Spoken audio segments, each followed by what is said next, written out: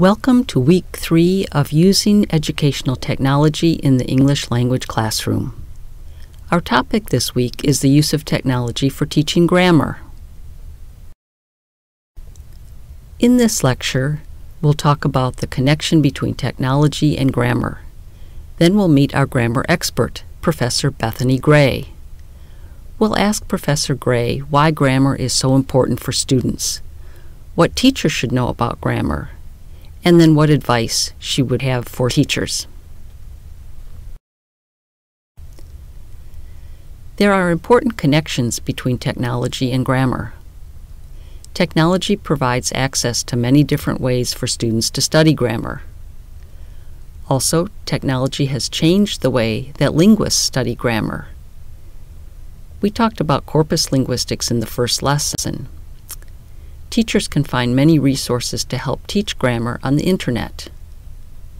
We'll take a quick look at two examples for grammar teaching Everyday Grammar from Voice of America and Corpus of Contemporary American English that you've already been introduced to.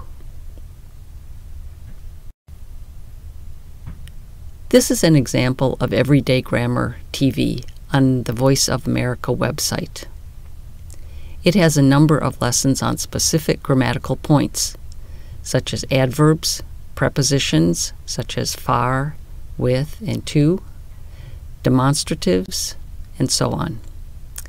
Each one of these lessons has an explanation and lots of examples for students to see and work with. In this example in Everyday Grammar on the Voice of America website, we see this explanation of reported speech. The speaker gives an example of what reported speech is, and the student can listen to the explanation of how reported speech is used and how it's formed grammatically. Students and teachers can complement that explanation of reported speech by taking a look at how reported speech using said that is used in actual everyday English language. This is an example of what we find in the corpus of contemporary American English if we do a search for the phrase said that. There are lots of examples here to look at how this expression is used, and so it gives students an idea of how reported speech works in everyday language.